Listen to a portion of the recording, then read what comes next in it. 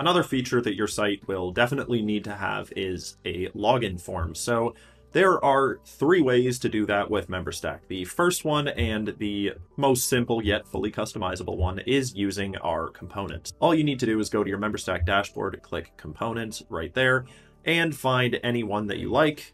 Let's say this one, give that a copy back over into Webflow and paste that in. With that being pasted in, all of the attributes are added and there's nothing that you need to do. So let's just go ahead and get rid of that because that's not the lesson today. Let's talk about two different ones. One is using the pre-built modal and one is using a custom form. Here we are in Webflow and I have this form. It's designed, but there are no attributes added to it. It's just a Webflow form at this point. Let's go ahead and make that work. Let's click our form element right here, go over here to forms and select login just like that.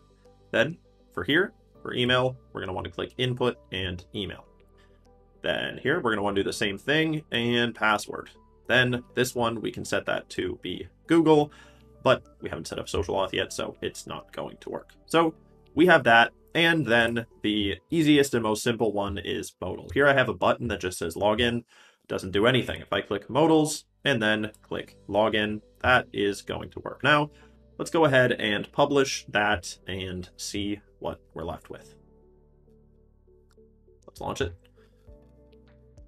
And now let's click that login modal. As you can see, that is working, but I'm going to show you logging in with the custom modal. Here we have this, and if we hit sign up, then we are logged in just like that. And we haven't set our login redirect for no plan, so we're just going to stay on this page. That is it for login forms. When a member logs in, they're going to be taken to whichever page you've set up in your Memberstack dashboard through the redirects.